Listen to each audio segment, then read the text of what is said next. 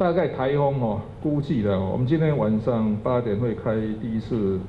应变中心会议了哈，就开始动员了哈。因为过去四年来的哦，台北市从二零一七四大运那一年二哦一一一七，二零一七年四大运哦，这妈祖保佑你知道，三个台风九十度转弯以后哈，一八一九二零到二一，哦已经大概快要四年多了哈，我们第一次终于台风要进入台北了哈，所以大家还是严阵以待。那今天早上我们 消防局有来报告报告我们的整个动员的状况，那我们大概。按照 SOP 走了哦，我相信我们特别应该是黄台的工作应该是会做得相当。不过这样的哦，估计的哦，从明天早上开始风雨会开始变强，大概从大概今天晚上风雨就开始变强，大概明天中午到后天早上应该是最强的时候。所以如果今天哦还没趁还没开始下大雨哦，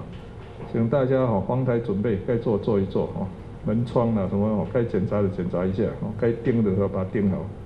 估计的哦，风雨应该是明天早上会开始就开始比较强。不过是这样的哦，这个台风要来，你知道吗？我们大概今年五月那时候疫情发生的时候，你知道吗？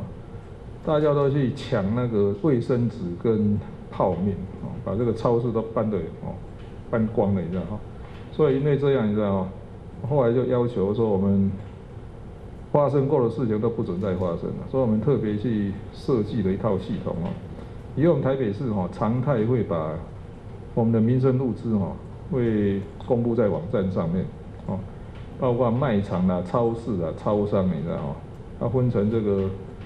有七个药品、有东西的米、蛋、奶粉、冷冻食品、卫生纸、泡面、食用油，会跟公布在网站上面。那等一下，我们这个产业局长哦会跟大家说明，这个以后这样呢，遇到这种紧急事故了哈，台风也是的哈，所以这次台风刚好就我们这个系统都做好了，哦，这次台风来刚好就把它派上用场。